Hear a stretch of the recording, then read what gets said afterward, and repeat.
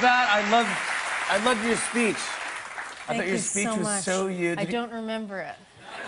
You really don't. I, I have no conscious memory of that night after they called my name. I know that they called my name. That's true. Blackout. Yeah. And then I came to, many hours later, I was eating spaghetti alone in a hotel room. That's what winners Not do. the first time it's happened. so I don't know what I said. Oh, it was great. Uh, it was just you just thanked all the right people and all—it it was just so nice. You actually, you flubbed. You you, you flubbed the, the. You said a weird sentence at first. And you go, I flubbed? No, no, no, no, no. It's funny.